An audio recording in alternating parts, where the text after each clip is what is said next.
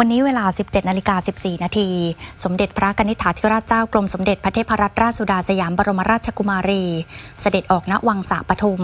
พระราชทานพระราชวโรกาส ให้คณะบุคคลต่างๆ เฝ้าทูลละอองพระบาทตามลำดับดังนี้ ในขันประจบเหมาะ ผู้อำนวยการสำนักงานจัดหารายได้สภากาชาติไทย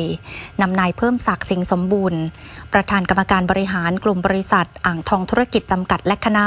เฝ้าทุนละอองพระบาททุนเกล้าทุนกระหม่อมถวายเงิน เพื่อสนับสนุนการพัฒนาศูนย์มะเร็งแบบบูรณาการ โรงพยาบาลจุฬาลงกรณ์สภากาชาติไทย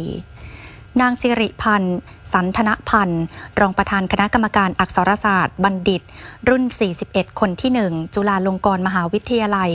นำคณะกรรมการอักษรศาสตร์บัณฑิต รุ่น 41 จุฬาลงกรณ์มหาวิทยาลัย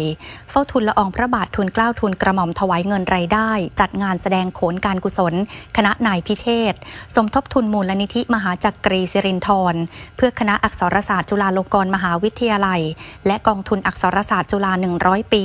ในกองทุนบรมราชกุมารของคณะอักษรศาสตร์ จุฬาลงกรณ์มหาวิทยาลัย ในโอกาสนี้ รองศาสตราจารย์สุรเดชโชติอุดมพันธ์ คณะบดีคณะอักษรศาสตร์ จุฬาลงกรณ์มหาวิทยาลัยและคณะ เฝ้าทุนละอองพระบาทรับพระราชทานเงินดังกล่าว